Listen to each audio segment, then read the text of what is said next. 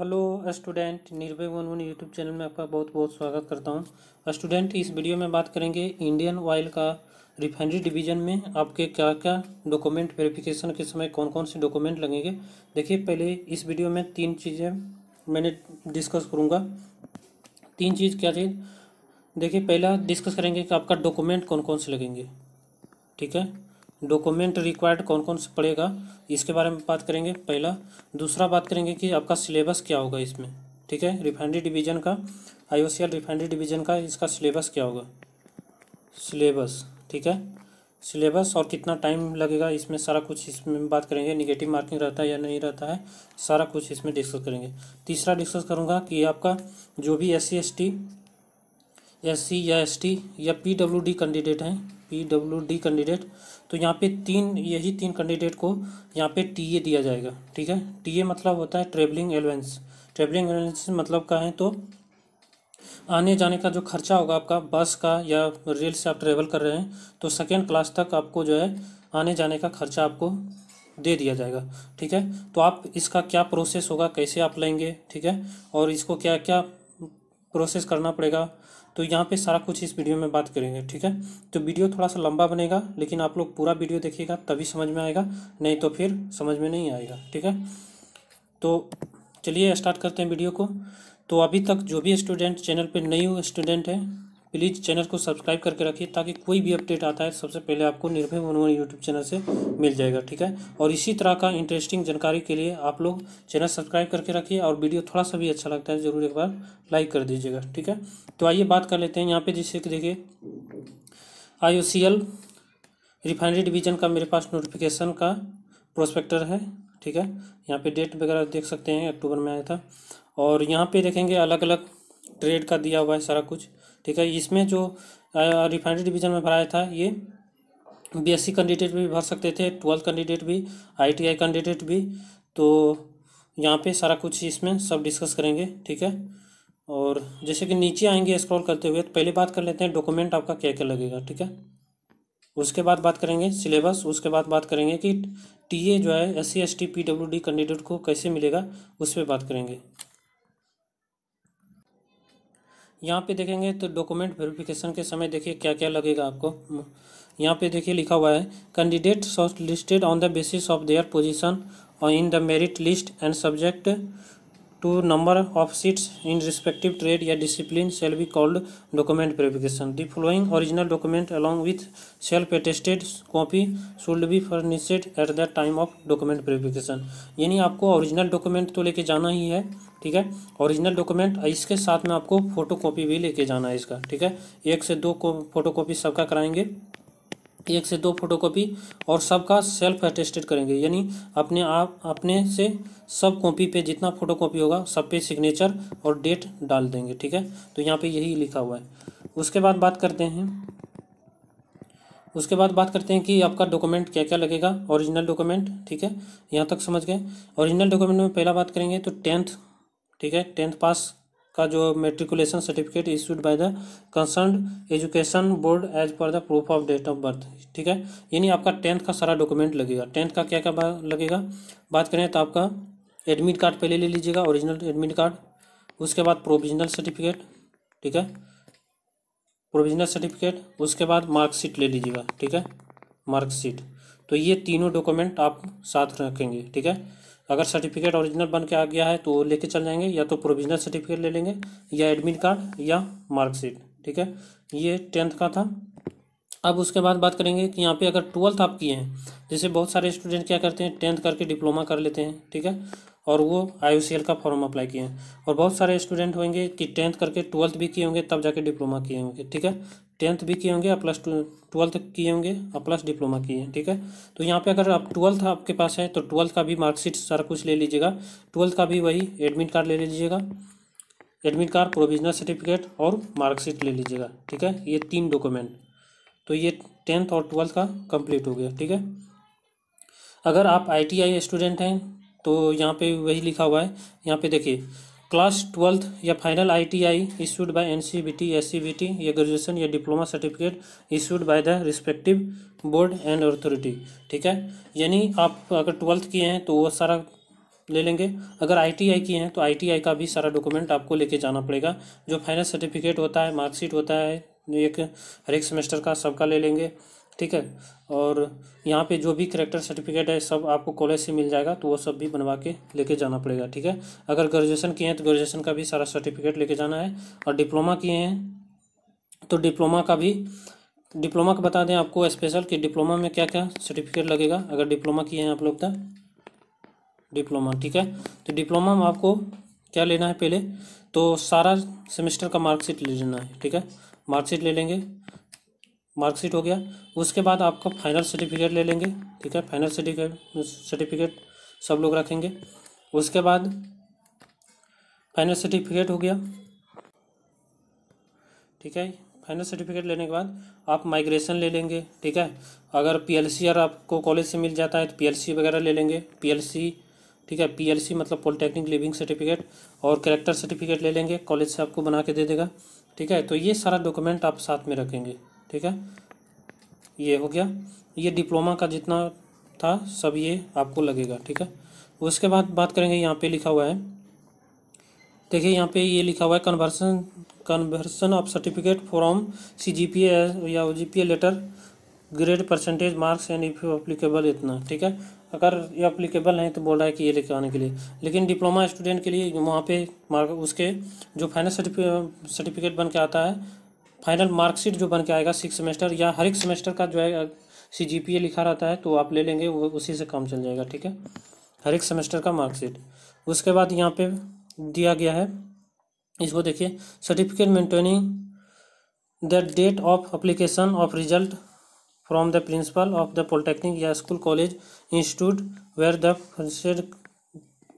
twelfth या ITI या graduation या डिप्लोमा कोर्स इफ़ अप्लीकेबल ठीक है? तो यहाँ पे वही बोल रहा है कि अगर जो भी लास्ट या ट्वेल्थ या आईटीआई किए हैं आप, या डिप्लोमा या ग्रेजुएशन किए हैं तो उसका क्या ले लेंगे आप? सर्टिफिकेट ले लेंगे, उसका फाइनल सर्टिफिकेट जैसे यहाँ पे बात करें, अगर डिप्लोमा का तो पीएलसी होता है पॉलिटेक्निक लेवल सर्टिफिकेट फिर ग्रेजुएशन का जो फाइनल पास करेंगे तो उसका भी सर्टिफिकेट देता है, ठीक है? तो इसी तरह से ट्वेल्थ का ले लेंगे, ठीक है? तो ये यहाँ पे सारा डॉक्यूमेंट ये आपको लगेगा ओरिजिनल उसके बाद यहाँ पे बात करेंगे कि फिर सिक्स नंबर में एस सी एस टी या डिस डिसेबिलिटी सर्टिफिकेट या OBC non creamy layer certificate ठीक है? तो ये तो समझ गए कि आपको जो भी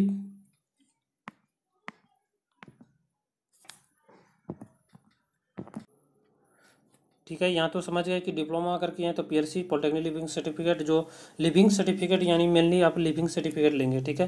ग्रेजुएशन किए हैं तो वहाँ से भी लिविंग सर्टिफिकेट और ट्वेल्थ आई आई किए हैं तो वो लेंगे। अब छठा नंबर में है कि S C disability certificate O B C non non creamy layer certificate along with declaration E W S ले लेंगे, ठीक है? यानी आप अगर कैटेगरी से बिलोंग्स करते हैं, उसका रिजर्वेशन चाहते हैं तो आपको एस सी एस टी ठीक है? अब फॉर्म भरने वक्त अगर आप कैटेगरी डाले हैं तो उसका आप कास्ट सर्टिफिकेट भी लगेगा यहाँ पे, ठीक है? तो कास्ट सर्टिफिकेट आप कहाँ से लेंगे? सेंट्रल से, लेवल से बना के ले जाएँगे, ठीक है? या स्टेट लेवल वाला नहीं लीजिएगा, सेंट्रल से लीजिएगा।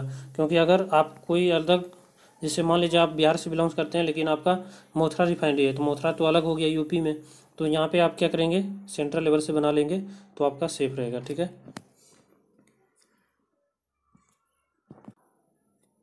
उसके बाद यहाँ पे देखेंगे, सतवा नंबर में लिखा हुआ है for candidate applying against code एक सौ ग्यारह with skill certificate in domestic data entry operator तो स्किल सर्टिफिकेट अब उसमें लगता था तो वहाँ पे आपको बोल रहा है कि स्किल सर्टिफिकेट ले लेंगे। यहाँ पे यही बोल रहा है कि कोई गवर्नमेंट ऑथराइज्ड पर्सन से रहना चाहिए, ठीक है? उसके बाद आठवां नंबर में है कि any other certificate as prescribed ठीक है? अगर कोई और बाद में मांगा जाएगा तो आपको लेके जाना पड़ेगा, ठीक है? तो यहाँ पे ये जो मेन मेन डॉक्यूमेंट था, यही सब आपको लगने वाला है, ठीक है? मेनली अगर आप डिप्लोमा स्टूडेंट हैं तो अगर टेंथ का सारा कुछ डॉक्यूमेंट ले लेंगे, ठीक है? अगर ट्वेल्थ के हैं तो ट्वेल्थ का ले लेंगे, और डिप्लोमा का जितना भी सर्टिफिकेट होता है, जो अभी आप, मैंने बताया, वो सारा डॉक्यूमेंट ले लेंगे, उसके बाद ये हो जाएगा। और रहा मेडिकल मेडिकल तो आपका आई की तरफ़ से ही किया जाएगा, ठीक है? वहाँ पे डॉक्टर रहता है, आपको जाँच किया जाएगा, उसके बाद मेडिकल आपका बन जाएगा, ठीक है? तो यहाँ पे जी जितना डॉक्यूमेंट से रिलेटेड हो गया, सारा डिस्कस कर लिए हैं हम लोग। अब बात करेंगे सिलेबस। तो देखिए यहाँ पे सिलेबस, ठीक है? सिलेबस में डिप्लोमा स्टूडेंट के लिए बात करेंगे तो आपका सिलेबस में क्या रहेगा? ऐसे यहाँ पे देखेंगे सिलेक्शन मेथोलॉजी में तो इस तरह का कोई अपडेट नहीं दिया है कि आपका क्या क्या सिलेबस रहेगा, ठीक है? और लेकिन मेरा जो एक्सपीरियंस है, जो पिछले एग्ज़ाम मैंने दे चुका हूँ तो उस बेसिस पे आपको बताऊँगा।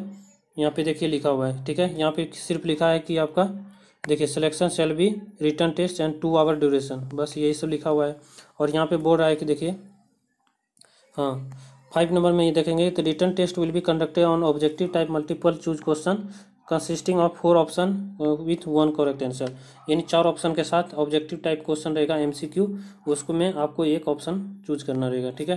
तो यहाँ पे देखिए मेनली सिलेबस के बारे में बात करेंगे डिप्लोमा स्टूडेंट के लिए तो आपका जो सेवेंटी फाइव परसेंट क्वेश्चन रहेगा, वो टेक्निकल से रिलेटेड रहेगा, ठीक है? सेवेंटी फाइव क्वेश्चन यानी पचहत्तर क्वेश्चन आपका टेक्निकल से रिलेटेड रहेगा, और प्लस पच्चीस क्वेश्चन जो रहेगा, वो नॉन टेक से रहेगा, ठीक है? नॉन टेक्निकल ठीक है? तो पचहत्तर क्वेश्चन आप समझ गए कि आपका अगर इलेक्ट्रिकल स्टूडेंट हैं या मैकेनिकल है या जो भी आपका जो मतलब अति ब्रांच है, उसी से आपका पचहत्तर क्वेश्चन रहेगा। अब पच्चीस क्वेश्चन सबके लिए कॉमन रहता है, ठीक है? तो पच्चीस क्वेश्चन में आपको क्या क्या देखने को मिलेगा? तो सबसे ज़्यादा जो देखने को मिलेगा मैथ ठीक है? मैथ और प्लस रीजनिंग यही दो सब्जेक्ट सबसे ज़्यादा रहेगा। मैथ और रीजनिंग ये पच्चीस क्वेश्चन लगभग, आपका समझिए कि बाईस से इक्कीस क्वेश्चन जो है मैथ और रीजनिंग रहेगा। और दो तीन क्वेश्चन जो है आपको करंट अफेयर्स से रहेगा जीके क्वेश्चन ठीक है? तो जीके पे उतना ज़्यादा अथी मत कीजिएगा।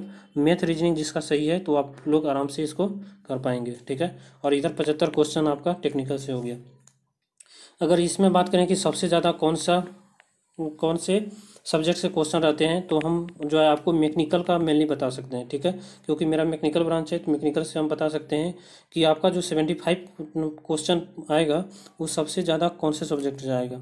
तो यहाँ पे बात थोड़ा सा एक दो सब्जेक्ट के बारे में बता देते हैं। सबसे ज़्यादा जो आएगा इस एस में फ्लूड मैकेनिक्स से आएगा, ठीक है? अगर आप मैकेनिकल स्टूडेंट हैं तो आपका सबसे ज़्यादा आएगा किससे? फ्लूड मैकेनिक्स से। दूसरा आएगा ये पहला हो गया फ्लूड मैकेनिक्स से सबसे ज़्यादा क्वेश्चन रहेगा। दूसरा, तीस, दूसरा बात करेंगे तो थर्मल इंजीनियरिंग से रहेगा, ठीक है? थर्मल इंजीनियरिंग ठीक है? तो तीसरा बात करेंगे, ये फ्लूड मैकेनिक्स हो गया थर्मल इंजीनियरिंग हो गया। उसके बाद बात करेंगे तो आपका हो गया मॉस रहेगा, ठीक है? Mechanics of solid mechanics of solid उसके बाद टॉम रहेगा, ठीक है? थ्योरी ऑफ़ मशीन ठीक है? तो ये सब जो है सब्जेक्ट जो है ज़्यादा डोमिनेट करेगा। उसके बाद बाकी अदर जो सब्जेक्ट हैं, उसे थोड़ा कम क्वेश्चन आएँगे, ठीक है? और लेकिन फ्लूड और थर्मल से सबसे ज़्यादा क्वेश्चन रहेगा।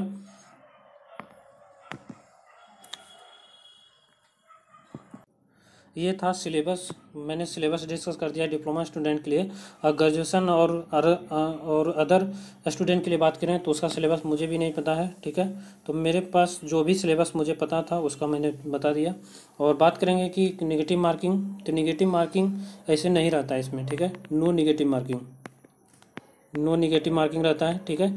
तो आप चाहें तो सारा सारा क्वेश्चन जो है अटैम्प्ट करके आइए कोई दिक्कत नहीं है ठीक है? अगर इस मैंने तो यहाँ पे बता दिया नो नेगेटिव मार्किंग लेकिन फिर भी आप लोग एक बार कंफर्म होने के लिए जैसे ही आपको वहाँ पे क्वेश्चन मिलेगा, ठीक है? आपका जो एग्ज़ाम होगा ऑफलाइन ही होगा। ठीक है? आप एडमिट कार्ड एक बार देख लीजिएगा। पिछली बार जो होता था एग्ज़ाम ऑफलाइन ही होता था। ठीक है? तो आपका जो क्वेश्चन मिलेगा, उसमें लिखा रहेगा। आपका एक दो पेज पहले वाला जो होता है, उसमें लिखा रहेगा कि निगेटिव मार्किंग है कि नहीं है। ठीक है? तो ऐसे तो मुझे जहाँ तक लगता है कि निगेटिव मार्किंग नहीं रहेगा, क्योंकि पिछले जितना भी एग्ज़ाम हुए हैं आई सी अप्रेंटिस का, उसमें निगेटिव मार्किंग नहीं रहता था। ठीक है? इस बार भी अगर आप देख लीजिएगा एक बार, एक एग्ज़ाम में बैठते साथ ही, एक बार कंफर्म हो जाइएगा कि है कि नहीं है। ठीक है?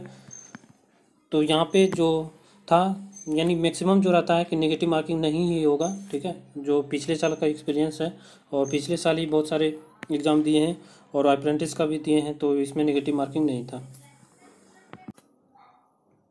तो यहाँ तक समझ गए कि नेगेटिव मार्किंग है या नहीं है तो नो निगेटिव मार्किंग है, ठीक है? यहाँ तक तो सबको क्लियर हो गया। और लेकिन फिर भी आपको एक बार बता देना चाहता हूँ कि आप कन्फर्म होने के लिए आपको जैसे ही क्वेश्चन मिलेगा तो एक बार ज़रूर आप देख लीजिएगा, ठीक है? ऐसी निगेटिव मार्किंग नहीं रहता है। अब बात करेंगे यहाँ पे कि आपको जो टी ए एलोवेंसेस मिलेगा वो कैसे मिलेगा, ठीक है? S C S T P W D candidate हैं तो आपको कैसे मिलेगा? तो यहाँ पे देखिएगा, आपके पास एडमिट कार्ड अगर डाउनलोड किए होंगे तो वहाँ पे लिखा हुआ है, देखिए यहाँ पे out station S C S T P W D candidate will be eligible for the of the second class rail या ordinary bus fare to and fro by the shortest route between the place of the mailing address and actual place of the journey and place of the written test ठीक है? यानी out station यानी जहाँ पे आप अब जो, आप जिस समय फॉर्म भरे होंगे तो वहाँ पे आपसे मांगा गया होगा नियरेस्ट रेलवे स्टेशन बताइए, ठीक है? तो जो भी स्टेशन दिए होंगे, अगर उस स्टेशन से अगर आपका कोई अदर स्टेशन यानी आपका जो एग्ज़ाम पड़ता है, कोई अदर जगह पड़ता है तो वहाँ पे जाएँगे। तो यही पे लिखा है कि आउट स्टेशन ठीक है? यानी जो भी स्टेशन दिए हैं, उसे दूसरे स्टेशन के लिए जा रहे हैं तो उस स्टूडेंट को मिलेगा यहाँ पे। और S C S T P W D candidate को मिलेगा। तो यहाँ पे वही लिखा हुआ है को आपको यहाँ पे जो मैक्सिमम मिलेगा सेकेंड क्लास तक मिलेगा, ठीक है? सेकेंड क्लास तक रेलवे या कोई ऑर्डनरी बस में जाते हैं तो आपको बस का जो टिकट मिलता है, या सेकेंड क्लास का जो टिकट कटाएँगे, उसको आप रखेंगे, ठीक है? यहाँ पे जो दिया गया है कि आपका जो काउंट किया जाएगा, ठीक है, आने जाने का दोनों तरफ़ का पैसा मिलेगा। देखिए यहाँ पे लिखा हुआ है फेयर टू एंड फ्रो ठीक है, आने और जाने का पैसा मिलेगा और शॉर्टेस्ट रूट को वो काउंट करेगा, ठीक है। आप ऐसे नहीं कि आप घूमते घूमते गए हैं तो उसका काउंट नहीं होगा। जो शॉर्टेस्ट डिस्टेंस होता है, जैसे कि आप मान लीजिए पटना में हैं अब पटना से जा रहे हैं, आप दिल्ली तो पटना से दिल्ली का जो शॉर्टेस्ट रूट है, रेलवे रूट का ये या बस का रूट जो है, वो आपका यहाँ पे काउंट किया जाएगा उसी अनुसार से आपको पैसा दिएगा, ठीक है। तो आप मेनली आप टिकट जो कटाएँगे, वो टिकट को रखेंगे। आप देखिए यहाँ पे आगे क्या लिखा हुआ है। रिटर्न टेस्ट सॉरी यहाँ पे देखिएगा। उसके बाद लिखा हुआ है whichever is less and subject to submission of T A claim ठीक है T A claim form with rail rail ticket bus ticket and copy of the caste certificate in the format prescribed T A claim format can be download from the W W I C L dot com, ठीक है? तो ये इस site पे जाएँगे और T ए कलम format वहाँ से डाउनलोड करेंगे, ठीक है? तो इसका जो ये ऑफिशियल साइट है आई सी एल का, इस पे जाएँगे और टी ए कलम एक फॉर्मेट आपको डाउनलोड करना पड़ेगा। उस फॉर्मेट को आपको क्या करेंगे?